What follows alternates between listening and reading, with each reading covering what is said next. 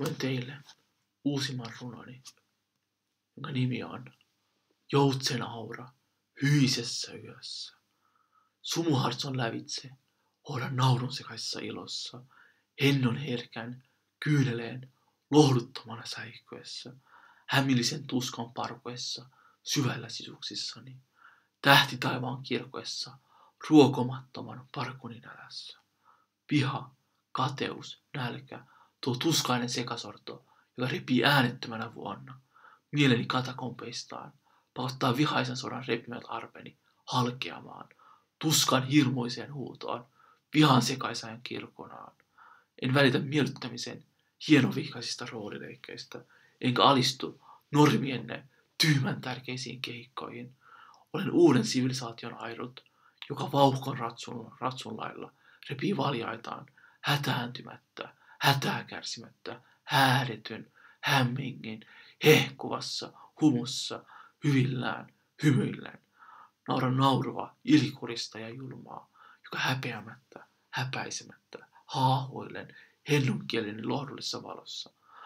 Runous on dynaaminen vuo, joka mylvii kirkonaa, tuskaista ja kylmää, kuin ratas, joka repii raakaa koneiston, kitkan karkoissa, raakaa koneiston kitkan kirkoissa, parkua kullattua. Kromatun metallin, ylistessä huutoa huumavaa. Pensan tuoksuessa, sen näyn päivittävän nautinnon vietellessä teille lohdullisille ja hyväileville.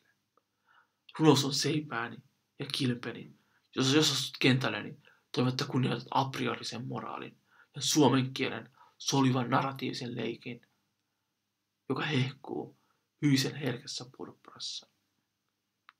Välkehtien sysimustan taivaan, tähtien, laakean pinnan yllä, keinahdellen, väreillen, helähdellen, kirkkaan joutsen auran sulahtaessa, kääriytyen tähän kylmään, kirkkaaseen taivaaseen. Suomen kielen kirjakielen lautakunta, jos pystyt edes muutamaan sään mittaan, muutamaan tavukeikkoon, muutamaan anekdoottiin, yhtä terveänälyttiseen ja samalla kirjakieliseen, niin lupaan kirjoittaa loppuelämäni tylsää ahdistavan normatiivista kirjakieltä, joka on tappanut kauniin, monimuotoisen satakielisen lauleron Suomen kansan pluralistisessa heimokulttuurissa, joka kieltää minua puhumaan niin kuin haluan, milloin haluan ja miten haluan.